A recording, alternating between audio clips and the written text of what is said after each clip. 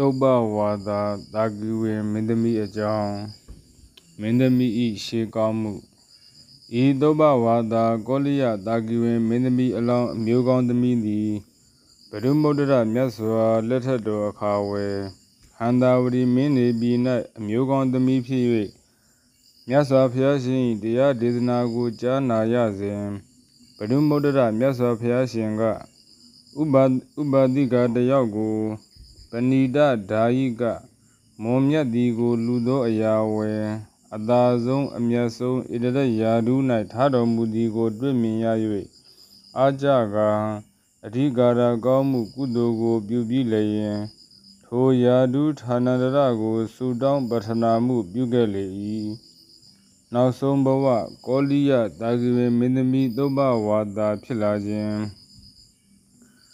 ထိုမျိုးကောင်းသမီးသည်ကဘာတသိမ့်ပံလုံးနတ်ပြည်လူပြည်တို့၌ကျင်လည်ကျဆားခဲ့၍ဤဖျက်မြတ်စွာပွင့်ထွန်းတော်မူရာကာလဝယ်ကောလိယပြည်၌တာဂိဝင်မင်းသမီးဖြစ်လာလေသည်ထိုမင်းသမီးအမိကိုသုဘဝါဒဟုမဲ့ခေါ်ကြလေသည်သုဘဝါဒတာဂိဝင်မင်းသမီးသည်အရွယ်သို့ရောက်လတ်သောဒါဂိဝင်မင်းသားတယောက်၏အိမ်သို့လိုက်ပါ အိမ်ရှင်မှပြုလုပ်နေထိုင်ရစဉ်မြတ်စွာဘုရားရှင်ကို ပထမအကြိမ်ဖူးတွေ့ရစဉ်ကပင်ဘုရားရှင်၏တရားစကားကိုကြားနာရ၍သောတပတိဖို့၌တည်လေသည်ထိုသုပ္ပဝါဒတာဂိဝေမင်းသမီးသည်နောက်ဖို့ဝယ်တိဝလိသူငယ်ကို ဖွားမြင်လေသည်ဣတရက်ဘွယ်တူရရှိခြင်း အရှင်တိဝလိမေတော်ဤသုပ္ပဝါဒကောလိယတာဂဝေမင်းသမီးသည်အခါတစ်ပါး၌ဘုရားမှုရှိသောယဟန်တန်ဃာအားအထူးထူးအပြားပြားမြတ်မြတ်ချိုမြိုင်သောအရသာရှိသည့်ပဏိဒဘောဇင်ကိုလူဒန်းဆက်ကပ်လေသည်မြတ်စွာဘုရားသည်စွမ်းဖုံးပေးပြီး၍အနုမောဒနာတရားဟောကြားတော်မူလက်သည်ရှိသောသုပ္ပဝါဒမင်းသမီးအား ဘောဇနံသုပ္ပဝါဒေတင်ဒီအရိယတာဝိကာပဋိက္ခာပဋိက္ခဟကာနံပင်စဌာနာနိဒေတိအစရှိသည်ဖြင့်သုပ္ပဝါဒသွန်ခဲဝေဘောဇင်ကိုလူရန်သောငါဖျား၏တပိမတာဝိကာသည်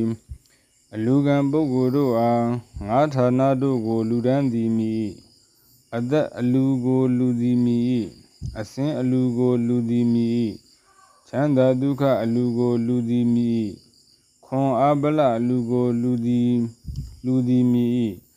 ဉာဏ်ပညာပရိပံအလူကို လူသည်မိအာယုဒါနကို ပေးလူရခြင်းကြောင့်နတ်၌ဖြစ်နတ်၌နတ်၌ဖြစ်လူ၌ဖြစ်သော အသက်၏အဖို့ဝေစုရသူ အသက်ရှိသောနတ်အသက်ရှိသောလူဖြစ် ဉာဏ်ပညာပရိပံအလူဒါနကို ပေးလူရခြင်းကြောင့်နတ်၌ဖြစ်လူ၌ဖြစ်သောဉာဏ်ပရိပံဉာဏ်ပညာပရိပံ၏အဖို့ဝေစုရသူဖြစ်ဉာဏ်ပညာကြီးသောနတ်ဉာဏ်ပညာကြီးသောလူဖြစ်ဟုသောဤတရားဒေသနာကိုဟောကြားတော်မူလေ၏ဤသို့လျင်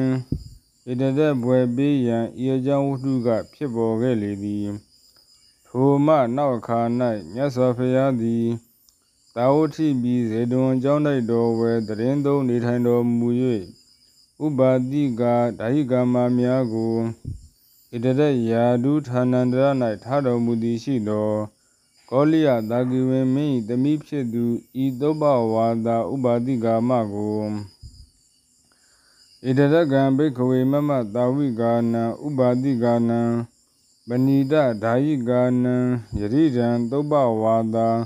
ကောလိယဒီတံယဟန်တို့မောမြတ်သောဝတ္ထုကို ပေးလူကြသည့်ငါဖရာ၏တပိမတာဝိကာဥပါတိကာတို့တွင်ကောလိယတာကိဝင်မင်း၏သမီးသုဘဝါဒသည်အသာဆုံးအမြတ်ဆုံးဖြစ်ပေ၏ဟုချီးကျူးမွဲ့မွဲ့တော်မူကံပဏိတဓာယိကာ မောမြတ်သောဝတ္ထုကို လူလေးရှိသောအရာဝယ်အသာဆုံးအမြတ်ဆုံးဣတရယာဒု၌ထတော်မူလေ၏ဤကသုပ္ပဝါဒမင်းသမီးအကြောင်းတည်း